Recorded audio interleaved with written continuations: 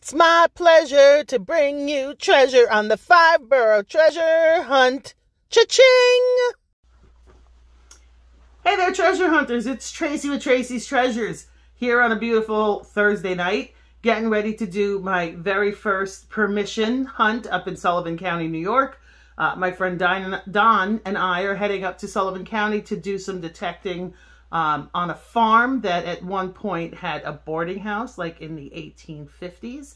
L runs along a river, so hopefully we have some really great finds. Cross fingers.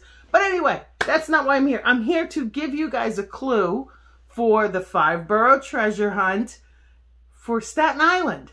It's the only place I haven't given a clue. So are you ready? Here it comes. Three treasures found, two more to go. This one is near the Verrazano. On the list from the city on where to detect, the part closest to the bridge has treasure, I bet. I've never hunted here, so for me it's new. I parked on a street that starts with a Q. Walked down a path until a crossroad.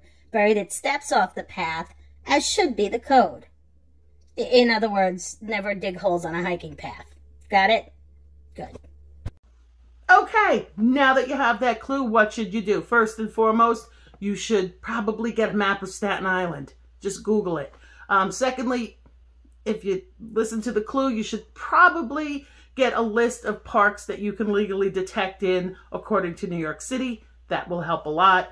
Um, if you're out looking for the treasure and you need a hint, you need a little help, um, want to know if you're even in the right place, there's my email address. Just send me an email if I'm available, I will certainly um, let you know if you're in the right park. Um, also, now, if you find it, ha, I think this one's the big one. I think this one has the Morgan dollar simply because nobody has told me they found the Morgan dollar yet.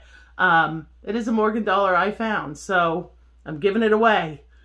So if, when you're out detecting, um, I think this signal that you're going to get is going to be pretty strong, pretty loud, pretty overwhelming with silver. So I hope somebody's out there looking for it. If you find it, when you find it, send me a picture of you with the treasure. Again, email address. Send me a picture. Send me your name. Tell me who you were with. Tell me how you found it. Give me the story and give me permission to use it on my YouTube.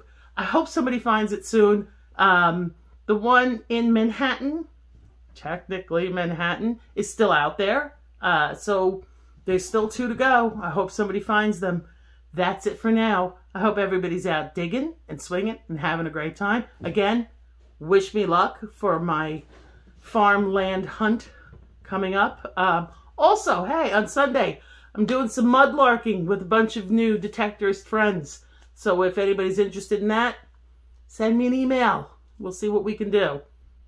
That's it for now. This is Tracy signing off. Bye. Good night. Have a great weekend. Like and subscribe.